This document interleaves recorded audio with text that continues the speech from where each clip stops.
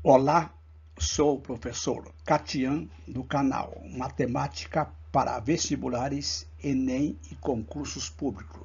Resolução das questões de matemática do concurso realizado pela banca Avança SP neste último domingo para a Câmara Municipal de Cabreúva, cargo auxiliar administrativo, nível fundamental completo.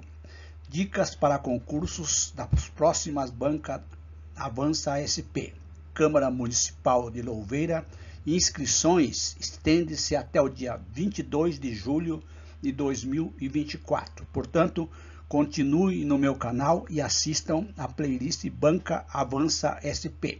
Então, vamos para os comentários das 15 questões de matemática nível fundamental completo clique na descrição desta videoaula links para download de provas recentes da banca Avança SP, editais de concursos e playlist com videoaula de matemática e de raciocínio lógico. Então, comentários das 10 questões.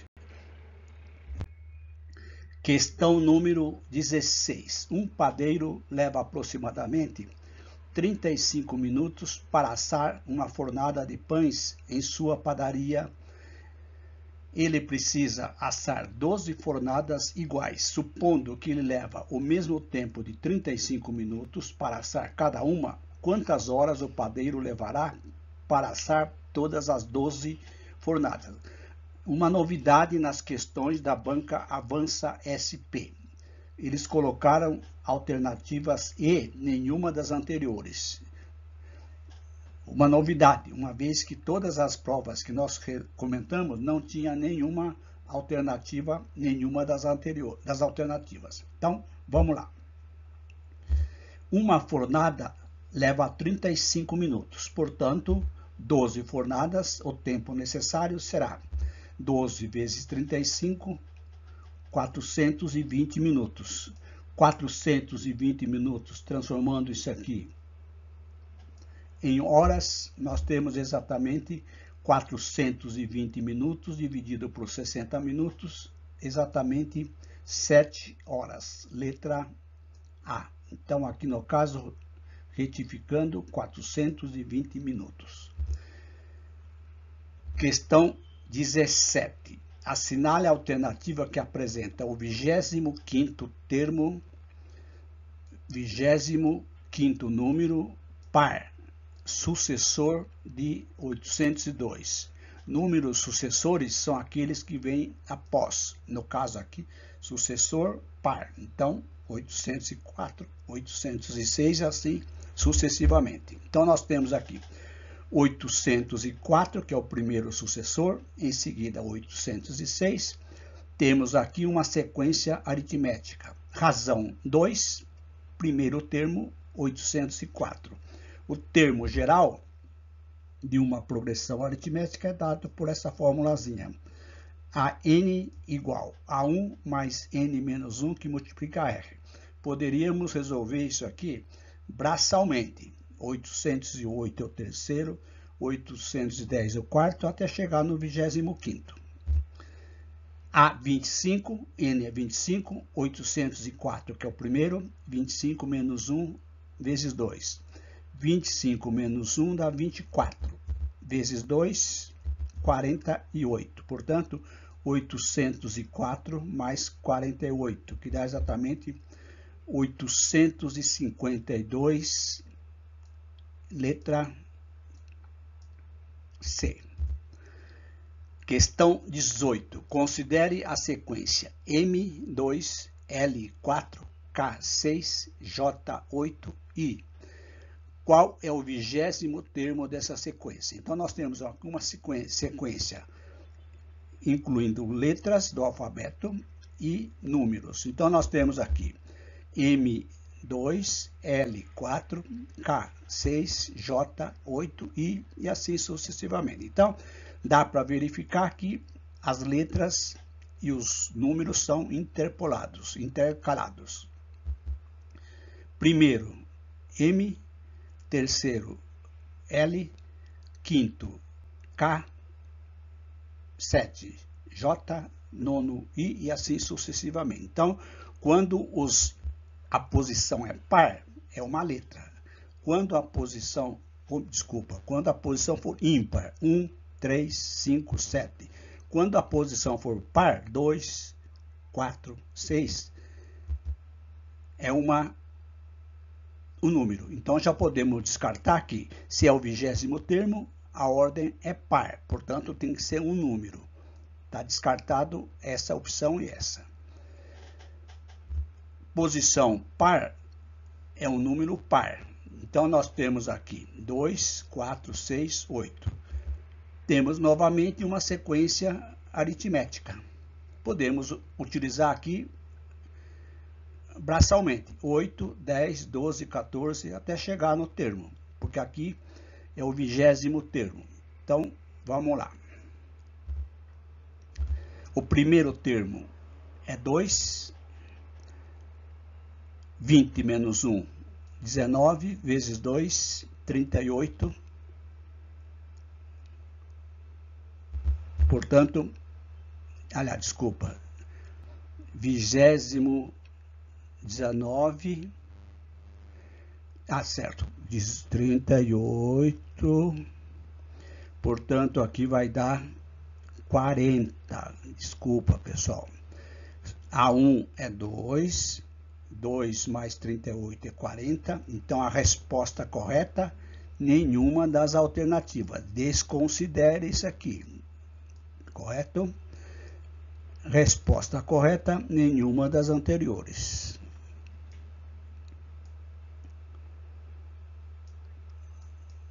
Então, o vigésimo termo é 40. Não tem resposta nenhuma das anteriores. 19.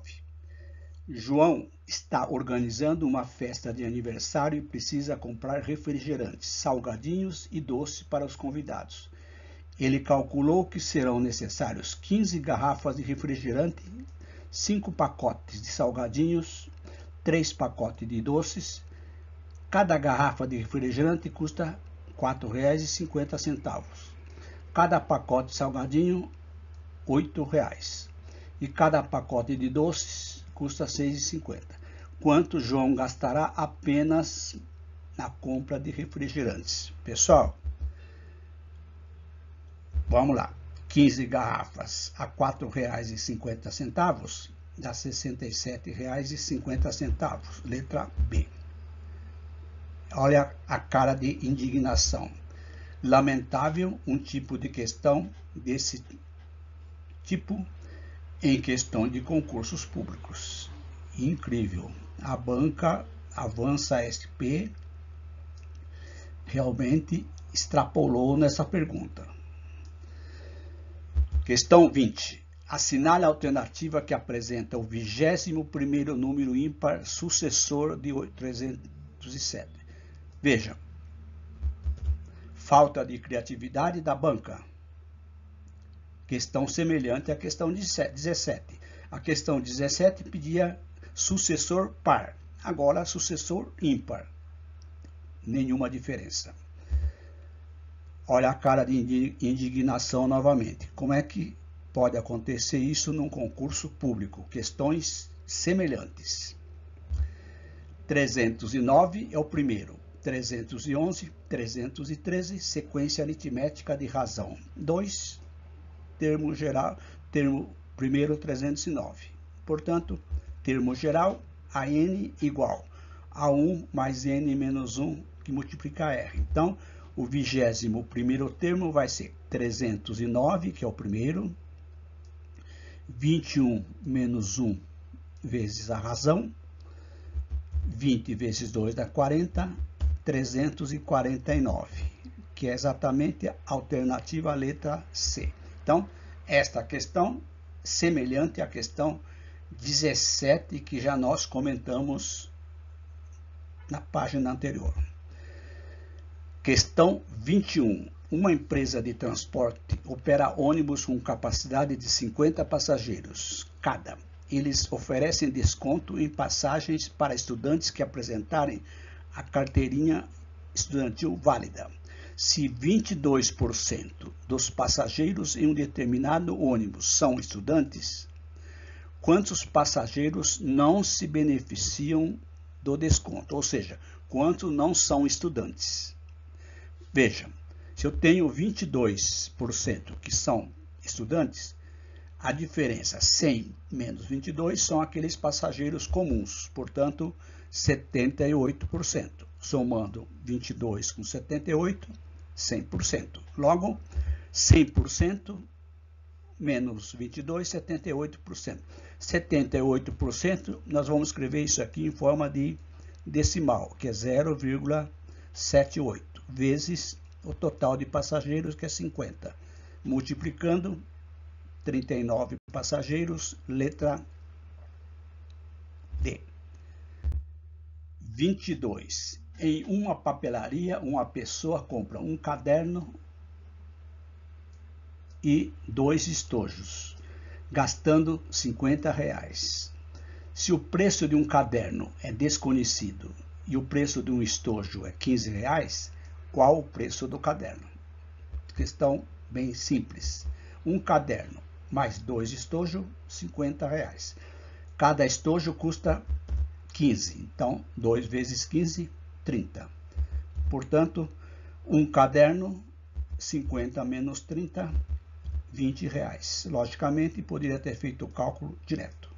Letra C. Um aquário tem capacidade para armazenar 200 litros de água. Se 77% do aquário está cheio, quantos litros de água há no aquário? Então, uma outra questão semelhante àquela questão de porcentagem. Capacidade do aquário, 200 litros. 77% está com água, então vou calcular 77% escrevendo assim, 77 sobre 100 vezes 200. Por quê? Eu posso cortar dois zeros, dois zeros, 77 vezes 2, 150 litros, letra B. 24. Um carro possui uma capacidade máxima de carga de 800 kg. Já estão no carro dois passageiros, João, que pesa 70 quilos, Maria, 60 quilos. Qual a quantidade máxima de carga que pode ser adicionada ao carro sem exceder os 800 quilos? Então, simples. A capacidade é de 800. Maria e João pesam 70 e 60, 130 quilos. Portanto, 800 menos 300 menos 130, 670 gramas é o peso da carga máxima. Letra A. Assinale, pessoal, de novo, veja. Assinale a alternativa que apresenta o vigésimo número par sucessor de 880. Questão idêntica, semelhante, para não dizer idêntica, semelhante às questões 17, 20 e 25. Lamentável, como é que pode? Em 15 questões, três questões são semelhantes, para não dizer iguais. 882, 884, 886. Aqui dá para calcular até braçalmente. Eu vou utilizar a forma da PA. A N, A1 mais N menos 1 que multiplica R. A 20, 882, 20 menos 1 que multiplica 2. 19 vezes 2, 38. Então, 882 mais 38, 920. Letra A. Então, veja, pessoal. Três questões usando números sucessivos pares e ímpares. Em 15 questões. Lamentável. Questão 26. Olha, uma outra questão, semelhante à questão que resolvemos anteriormente da capacidade do carro. Agora só mudou o, o transporte. Antes era carro, agora é avião. Um avião de pequeno porte possui uma capacidade máxima de carga de 1.500 kg. Já estão no avião três passageiros. Lá era dois, 65 quilos, 80 quilos, 70 quilos. Qual é o peso máximo que as bagagens de Ana, Carlos e Lucas podem ser sem exceder a capacidade de 1.500? Bom, pesando os três, nós temos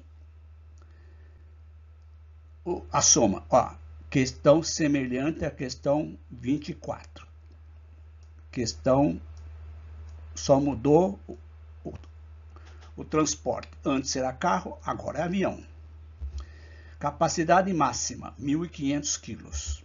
Peso de Ana, Carlos e Luca, 215. Portanto, 1.500 menos 215 dá 1.285 para a bagagem. Pessoal, como pode? 1.285 quilos dividido em três pessoas dá 400 quilos de bagagem para cada um. Curiosidade. Uma pessoa que viaja de avião, no máximo leva na bagagem de mão 10 quilos uma mala de 23 quilos no bagageiro. O restante ele paga por peso. Imagina 400 quilos. Triste, né? 27. Um pacote de farinha de trigo tem 2,5 quilogramas. Quantos gramas de farinha há nesse pacote? Lembrando, 1 quilo 1.000 gramas, 2,5 quilos, vezes 1.000, 2.500 gramas. Letra B. 28. Em uma fazenda há seis galinheiros, cada um com capacidade para abrigar 40 galinhas. Se cada galinha põe em média um ovo por dia, quantos ovos a fazenda produzirá em oito dias. Vamos lá. Total de galinhas, seis galinheiros vezes 40, 240. Cada galinha coloca em média um ovo, vezes oito dias, 1.900 ovos. Letra E. Questão 29. Em um restaurante, os pratos são servidos na seguinte ordem: sopa, salada, prato principal, sobremesa, sopa, salada, prato principal e assim sucessivamente. Qual o prato a ser servido após a salada? Pessoal, sopa, salada, qual o prato após a salada? Prato principal, letra B. Questão 30.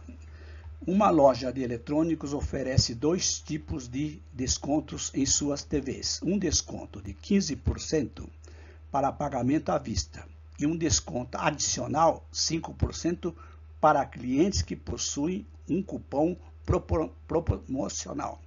Se um cliente compra uma TV de R$ mil reais e opta por pagar à vista, qual será o preço final que ele pagará pela TV. Supõe-se que esse cliente não tem o cupom promocional, portanto, ele terá somente 15% de desconto. Se ele vai ter 15%, ele vai pagar 85%, concordam? 85% é 0,85 vezes 2 mil. Multiplicando aqui, eu tenho R$ 1.700, letra C. Essas são as 15 questões da banca Avança SP para o cargo de auxiliar administrativo, prova realizada nesse último domingo para a Prefeitura Municipal de Cabreúva. Cinco questões semelhantes. Triste, lamentável. Gostaram? Façam inscrição no canal, ative o sininho dê um like nas videoaulas que vocês estão assistindo. E se você vai fazer outros concursos públicos, além do concurso que está previsto para o município de Louveira, continue no canal, cliquem na playlist Avança SP, link na descrição dessa videoaula. E se possível, colaborando com o meu canal, compartilhe com seus amigos as nossas videoaulas. É uma forma de vocês divulgarem o nosso trabalho estritamente gratuito. Se vocês quiserem colaborar monetariamente, tem duas formas. Ou vocês clicam no link Valeu Demais, conforme diretrizes do canal do YouTube, ou na descrição da videoaula nós temos a chave Pix. Aqueles que quiserem colaborar, agradecemos. Um grande abraço e até as próximas.